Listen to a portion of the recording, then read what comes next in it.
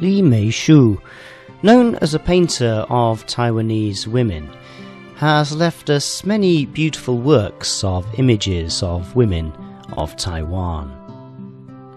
This piece at the Taipei Fine Arts Museum is Young Woman in White Dress. The model was one Ms. Lee, who worked for a Sanxia farmers cooperative. The work depicts the upper half of the subject's body. Fashion at the time was to put the human subject close in the foreground. Then, in the background, Li Mei Shu liked to paint some old items or things from people's homes.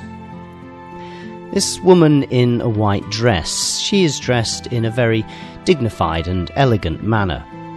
Even her jewellery, what appears to be a corsage of coral. It's not too detailed, but has a feeling of texture, an embellishment that brings the painting to life.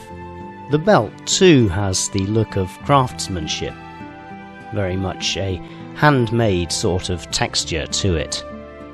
Behind her is something commonly seen after Li Meishu was rebuilding Sanxia's Zushi temple. He would incorporate carved wooden screens in the composition. Many works feature this kind of composition a person in the foreground and a wooden screen in the background.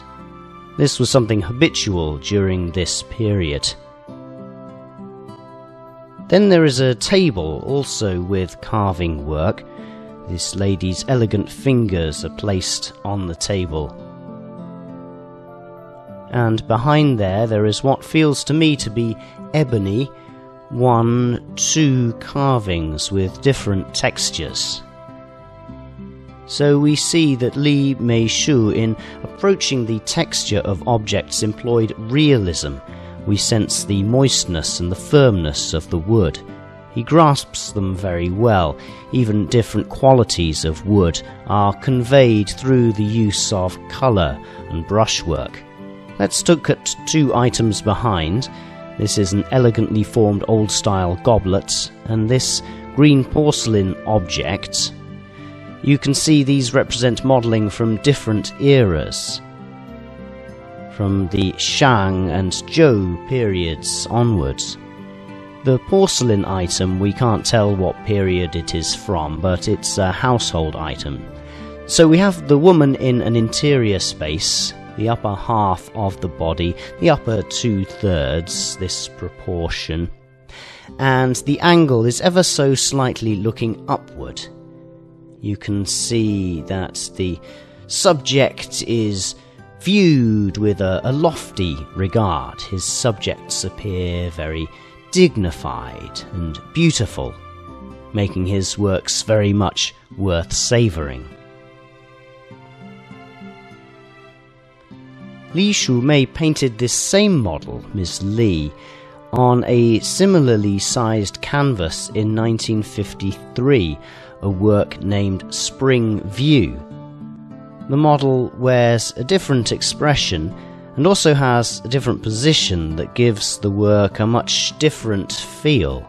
If you have a chance to see it, it is of Miss Li outdoors wearing a red dress her lips are parted in a smile, and her hand is placed by her cheek. Her head is wrapped in a headscarf popular at the time.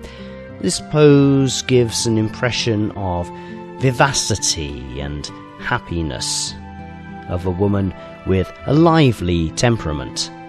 Compare it with the pose of the same model in Young Woman in White Dress and the colour of the dress and how the place she is in is somewhat quaint.